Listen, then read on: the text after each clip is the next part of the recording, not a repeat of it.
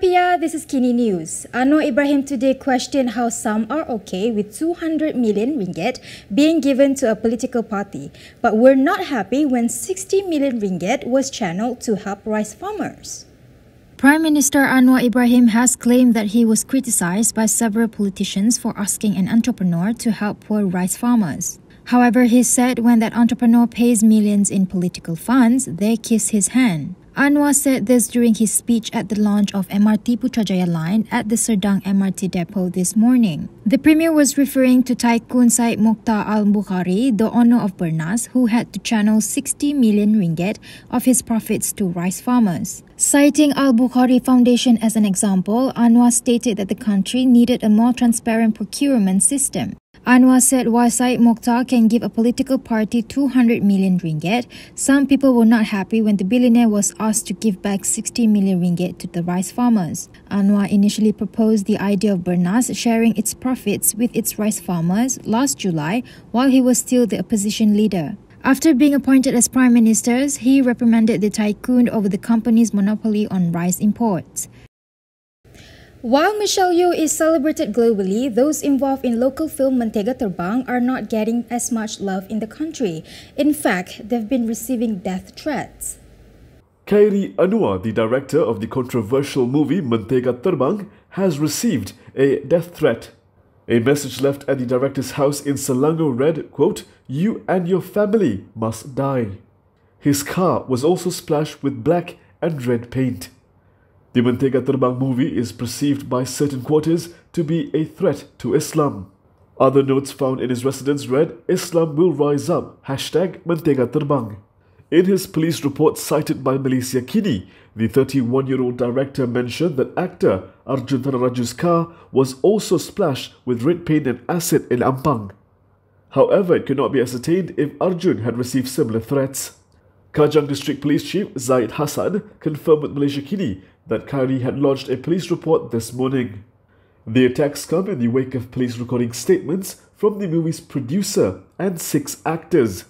The film tells the story of a 15-year-old Aisha as she grapples with questions about life and death in various religions after her mother is diagnosed with a terminal illness. However, the Muslim Consumers Association and Putra found it offensive that the movie showcased a Muslim seeking answers in other faiths. The Islamic Development Department, JAKIM, also found the content to be in contradiction with Islamic beliefs and the Muslim way of life in the country. Malaysia Kini has reached out to Khairi for further comments on the incident. The eight telephone call saga continues, with Wee Ka Siong today saying he has proof that the call he received was indeed made by Deepak. Wee Ka Siong has maintained that it was Deepak Jaikishan who called him twice on Monday. The MCA president also urged the former carpet dealer to lodge a police report if someone had impersonated him. At a press conference held in Parliament this afternoon, Wee also furnished evidence in the form of screenshots of the caller ID to substantiate his claim. Untuk makluman, panggilan telefon tersebut dibuat pada jam 9.51 pagi selama 33 saat sebelum terputus. Kemudiannya disusuli dengan panggilan kedua pada jam 9.52 pagi dengan perbualan selama 7 minit. Inilah bukti yang saya ambil daripada uh, screenshot telefon bimbit saya. According to him, Deepak rang him on Monday using a phone number ending 9989 with the initial DJT on his WhatsApp profile. Jadi jika menggunakan aplikasi Truecaller, hasil carian berdasarkan nombor tersebut dimiliki oleh seorang insan bernama Deepak J. Tekwani. We added that the profile picture of the caller on WhatsApp also resembled Deepak Jaikishan. Sekiranya Deepak Jaikishan berasakan ada orang yang menyamar atau impersonate beliau atas nama Deepak, membuat panggilan kepada saya pada 13 Mac 2023 jam 9.51 pagi saya menyeru agar Deepak Jaikishan membuat laporan polis bagi membersihkan namanya.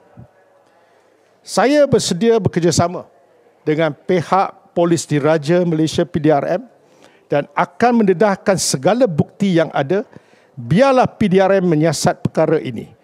However, the MCA president said the avatar was changed after he had revealed that Deepak had name dropped the Prime Minister's office. Yesterday, Malaysia Kini contacted the number cited by Wee. The owner of the number, however, claimed that he is not Deepak and addressed himself as Mr. Raja. He also claimed to be in aid of one of the shareholders of JNE Advanced Tech Sendirian Berhad. JNE is the sole company that Putrajaya allowed to import eggs from India during a local supply shortage. Speaking to Malaysia Kini yesterday, Deepak denied contacting Wee and links to JNE. New guidelines have been introduced for foreign artists, which include a ban on cross dressing and stripping. Foreign artists performing in Malaysia must avoid holding performances during or on the eve of Islamic holidays. This is according to the Central Agency for Applications for Filming and Performance by Foreign Artists guidelines that will come into force in 2024. Exceptions will be granted if they have received permissions from the relevant Islamic authorities. The Islamic holidays listed in the new guidelines include the entire month of Ramadan. Other holidays include the Islamic New Year, Prophet Muhammad's birthday, Isra and Mi'raj, Nisful Sha'ban, Nuzul Al-Quran, Hari Raya Aidilfitri, and Hari Raya Haji. Foreign artists are not allowed to hold performances on these days to show respect for religious activities.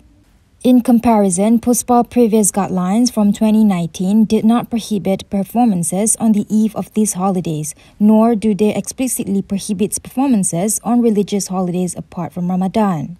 As for dress codes, the new guidelines explicitly prohibit foreign male and female artists from removing their clothes during their performances. In addition, male performers are prohibited from cross dressing as women. Hadi Awang has found an unexpected ally in the form of PKR's Hassan Karim when it comes to the PAS leader's right to speak in mosque. PAS President Abdul Hadi Awang's defiance against royalty regarding his right to preach in mosque has received unexpected support. PKR lawmaker Hassan Karim said it is democratic for Muslims to listen to Islamic teaching not delivered by an official imam or preacher. Hadi had previously persisted in delivering sermons in mosques in Terengganu despite the prohibition by the State Islamic Council against doing so. Hadi claimed that there is nothing wrong with Muslim politicians delivering sermons in mosques or suraus. He said they have a duty to speak up on various matters, including politics. Responding to this, the Pasir Gudang MP said at least there is somebody who dares to challenge. Hassan also expressed the view that no one, including royalty or any political party, should be allowed to monopolize Islamic matters. The prohibition against all politicians from delivering a lecture or sermon in all mosques and suraus across Terengganu came into effect on March 2nd. The order was issued after state ruler Sultan Mizan Zainal Abidin became upset that some politicians had delivered religious lectures or classes and led Friday prayers without approval. Datuk Roy may be out on bail now, but the MACC will be seeking a new remand against him tomorrow. The Kuala Lumpur Magistrates Court today released a man known as Datuk Roy on MACC bail. This is after the expiry of his three-day remand to facilitate an investigation into the Jana Wibawa program. However, he is set to be brought before the Putrajaya Magistrates Court tomorrow to be further remanded. His counsel, Fahmi Moin, said the remand tomorrow will be sought by the MACC to assist the investigation under Section 16 Bracket A of the MACC Act. Two days ago, the Kuala Lumpur lower court issued a three-day remand until today against Dato Roy in order to facilitate the MACC investigation under Section 17A of the MACC Act.